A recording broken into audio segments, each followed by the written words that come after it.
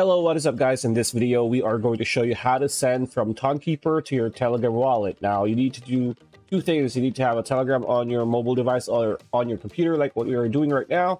And you need to have a Tonkeeper, uh, the Chrome extension or on your device at the same time. You need to be logged in on, on both accounts.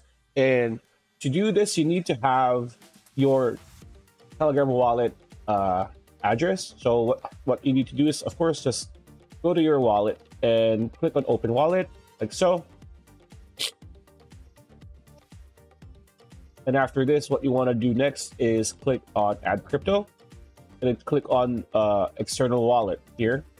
And then make sure that it's uh, on Tonkeeper because it is from, I mean, Ton, uh, because it is uh, on Tonkeeper.